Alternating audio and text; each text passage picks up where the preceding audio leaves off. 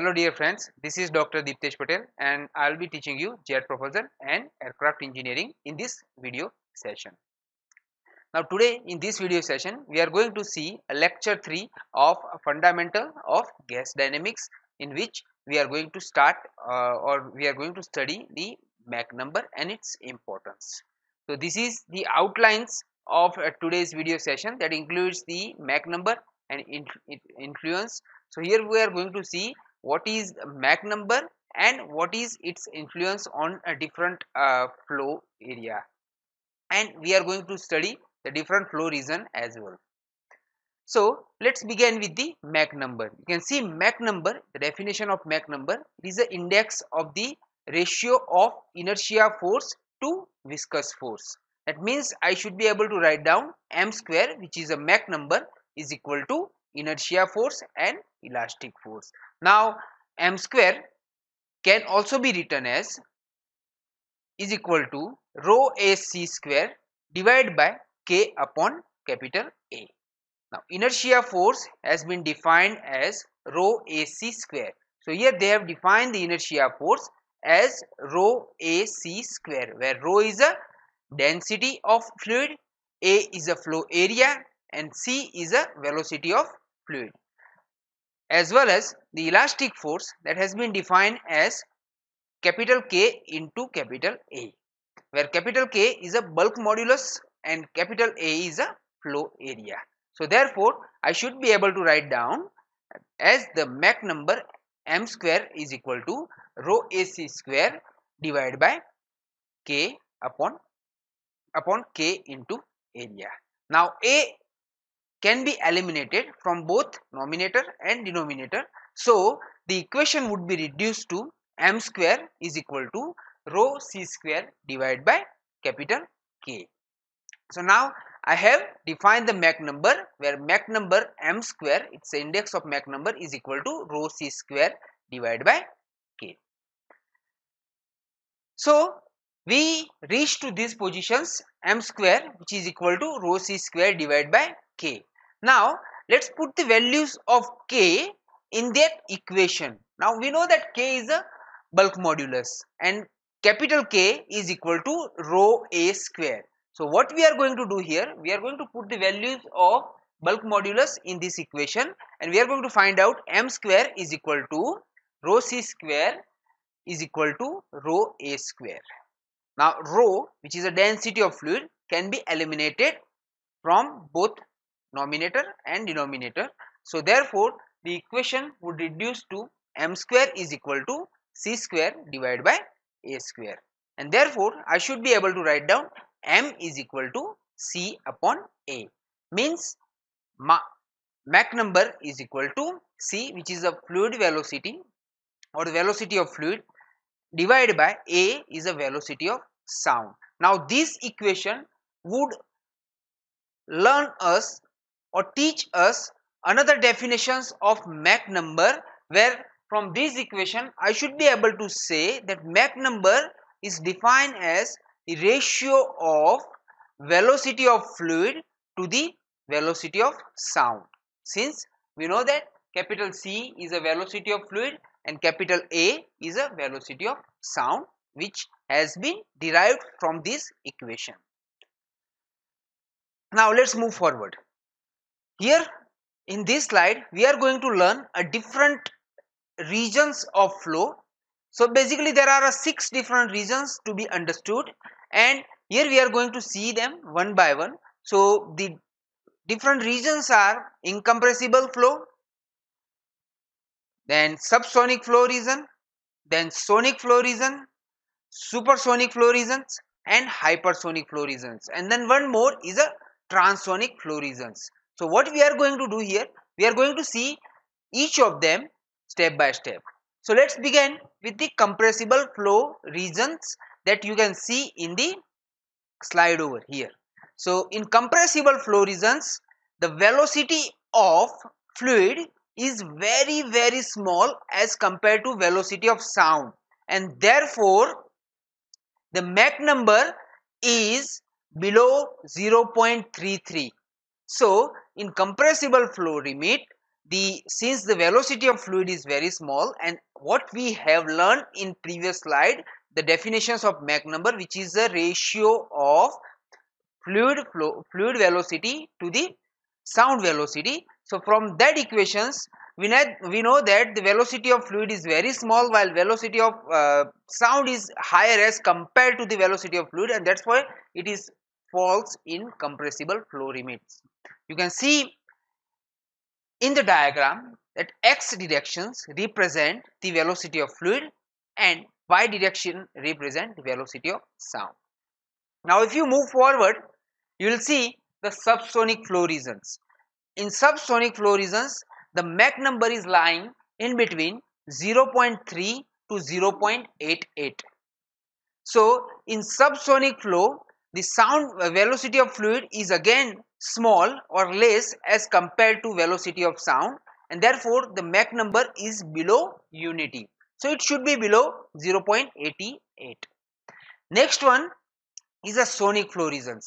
In sonic flow the velocity of fluid is equal to the velocity of sound and therefore the Mach number is unity and we can write that the Mach number for the sonic flow region is always unity and it should be written as is equal to 1. If you move forward, you'll see the supersonic flow regions.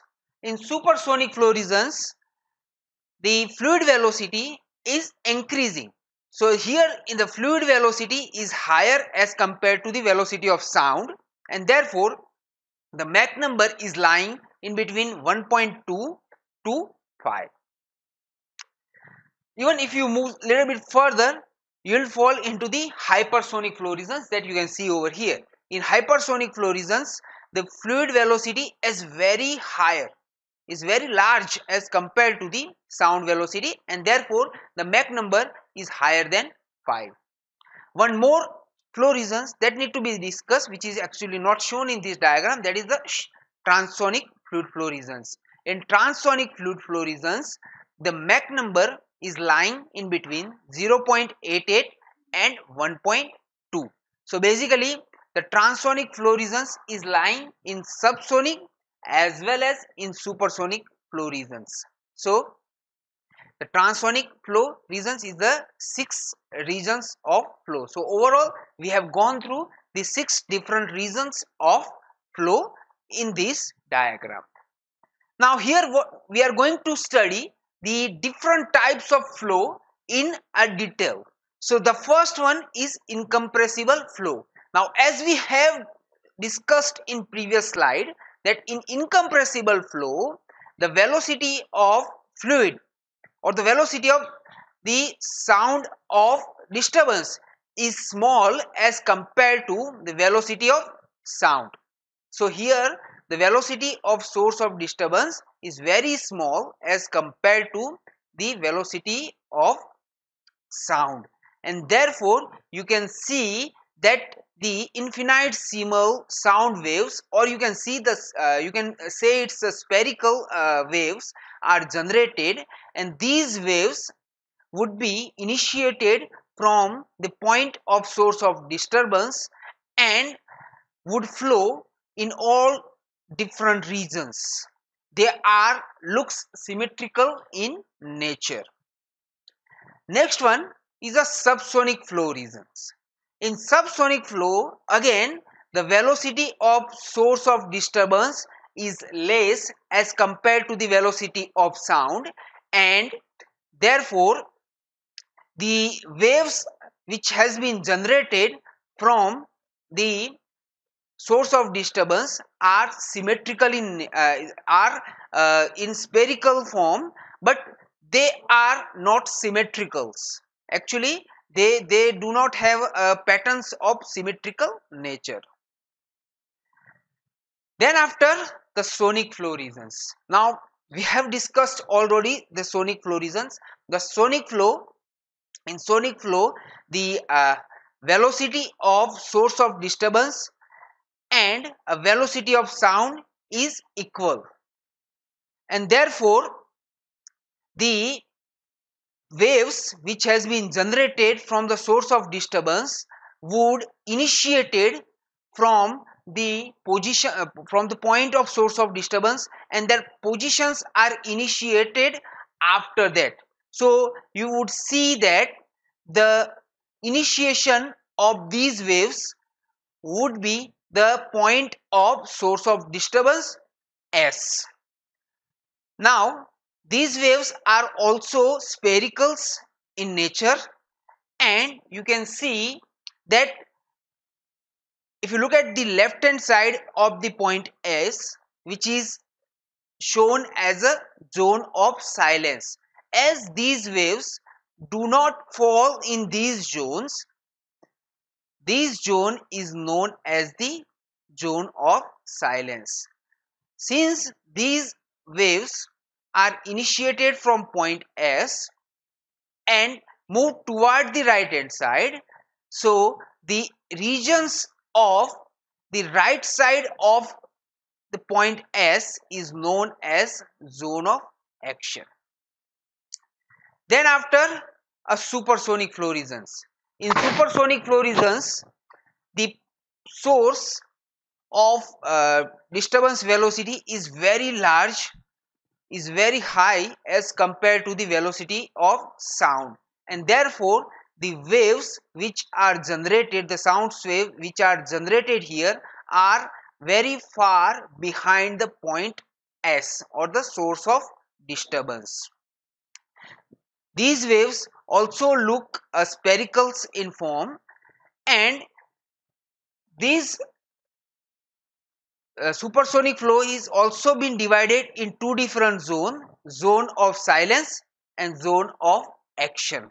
So Mach cones is used to separate two different zones. Mach cones is actually a tangent line from the source of disturbance to the the surface of these spherical sphericals waves form so the region which is lying outside of the Mach cone is known as the zone of silence while the region which is lying inside of the Mach cone is known as the zone of actions. So this is for the supersonic flow regions. So here what we have studied, we have studied the different flow regions in detail that includes the incompressible flow, then uh, sonic flow, subsonic flow and the supersonic flow regions. Now this is the end of uh, video session. If you have any doubt you can write down in the comment box. Thank you very much.